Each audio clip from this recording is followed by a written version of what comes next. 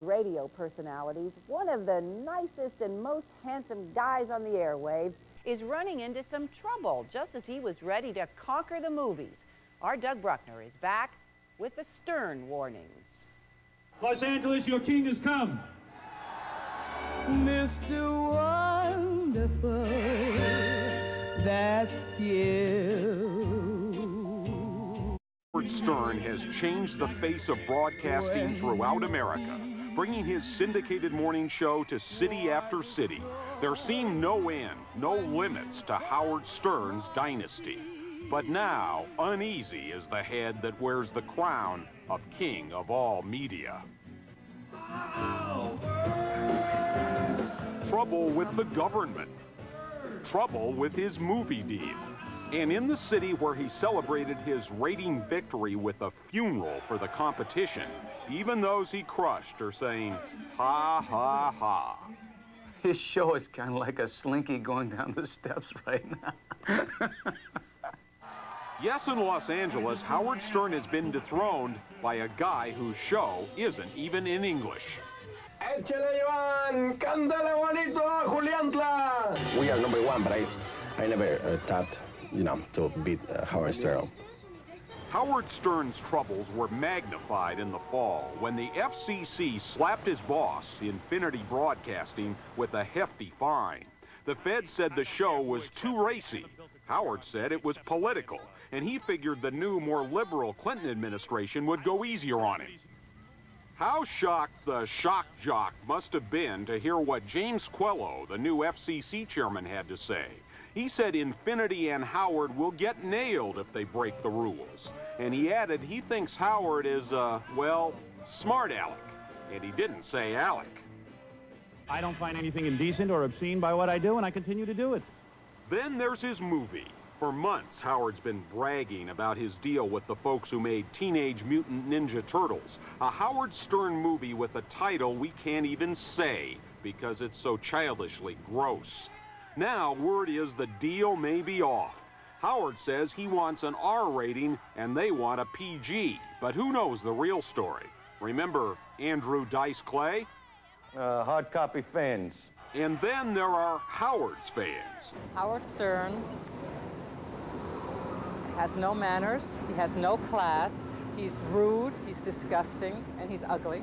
It's so cool that he says what he says because I don't know who else can get away with what he's saying, but we're all thinking what he's saying, and he's brave enough to say it. He's great. I think Howard Stern is on his way out, and, and hopefully he is. I like Howard, though. He's, he's equal opportunity offender, so he's okay with me. There's also been a backlash as Howard enters new regions who've never experienced his no-holds-barred opinions and talk or his unparalleled attacks on his competitors.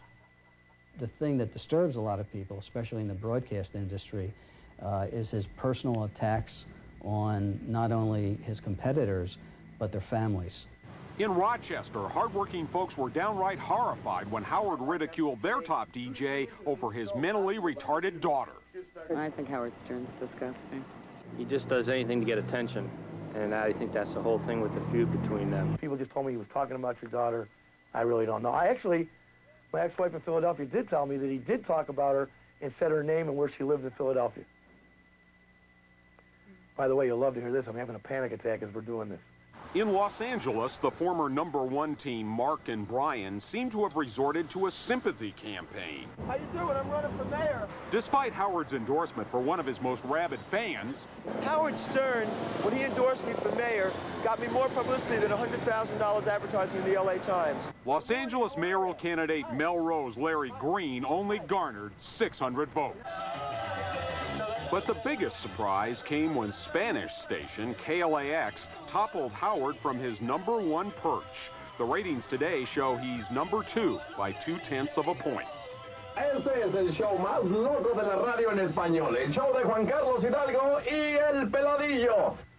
Why would anyone not like Howard Stern? What could be at the bottom of what hippies would call this bad karma?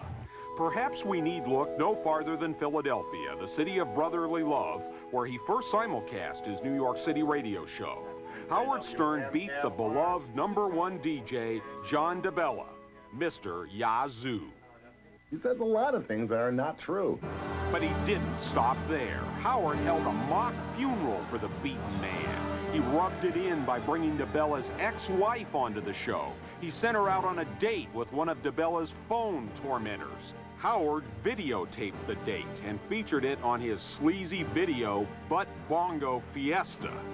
Before the tape was released, the ex-Mrs. DeBella was found dead in her garage. They ruled it a suicide. Howard Stern could not be blamed in any way, shape, or form.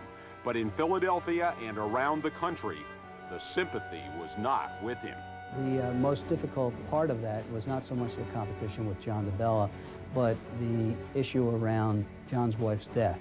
Uh, Howard continued after that point of trashing John, calling Annette, quote, back from the dead to speak with her. Definitely, definitely over the line and uncalled for. Tonight, Howard Stern isn't doing too poorly for a DJ who doesn't even spin records. He's even doing a toned-down, almost respectable interview show on the E! channel. Now, sure, most folks can't get E!, but media columnist Frank Swertlow says that may be in Howard's favor.